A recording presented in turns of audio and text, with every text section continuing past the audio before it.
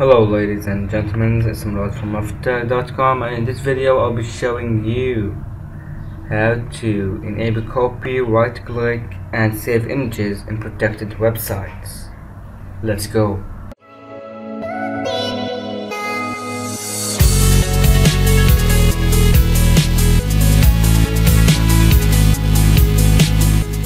Guys before we start please be sure to hit the, this red subscribe button which will lead to getting all my videos right on your homepage YouTube homepage.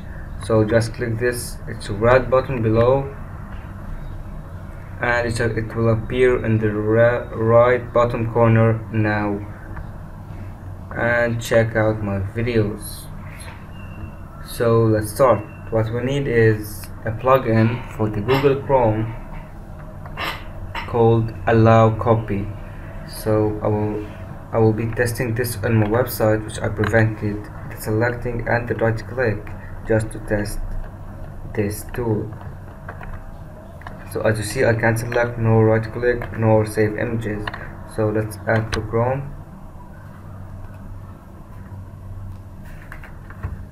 Add extension. The link will be below in the description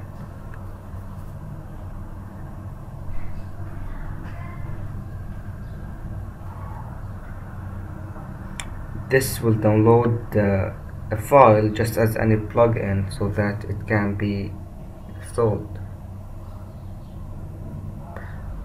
If you're using Firefox you can use also a plugin which is below in the link which will be also below in the link.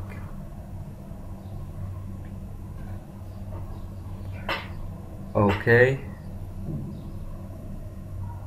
So it is added now and as you see there is an icon appeared here. We can turn it on and off.